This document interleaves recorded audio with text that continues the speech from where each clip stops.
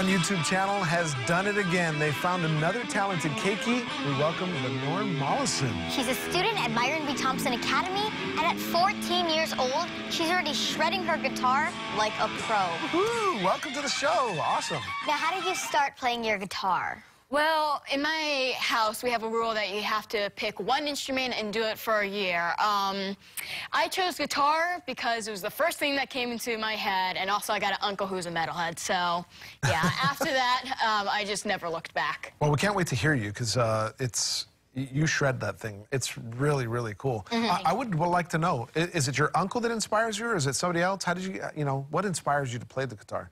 I guess famous, really famous um, guitar players like Kirk Hammett from Metallica, Synyster Gates, um, Eddie Van Halen, and also, Oh. uh, well, my uncle.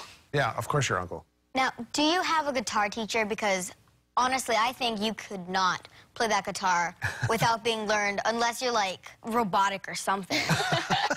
A robot. Um, yeah, actually, Aaron Carey from Kylo Music School, Tommy Osuna, and Johnny Kai from Brown Bags to Stardom. Is it one of those things where you kind of just sit around and you, you start picking away at the guitar and you kind of just learn at your own pace too? Yeah, I mostly just watch TV and then I'm like, oh wait, that works. I can make that into a song. Or I just look up online or I take it to my teachers. now, I heard you warming up and you sound amazing. Thank you. Where can we hear more? Um, I actually have an Instagram and a Facebook, at Lenore the Shredder. So go check it out. But first, we've got the preview right here on Living 808. So, Lenore, take it away.